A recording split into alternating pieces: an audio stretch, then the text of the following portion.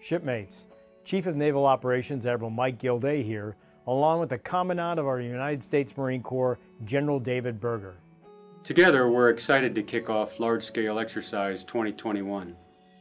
Over the next two weeks, approximately 25,000 sailors and Marines will participate in this live virtual constructive globally integrated exercise that spans five U.S. numbered fleets, three Marine Expeditionary Forces, and 17 time zones.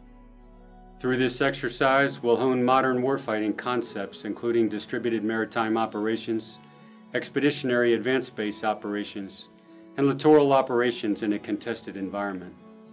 LSE 21 will also help our sailors and Marines exercise the same battle problem together in real time so they can align concepts, capabilities, planning, and synchronize maritime operations in support of the Joint Force.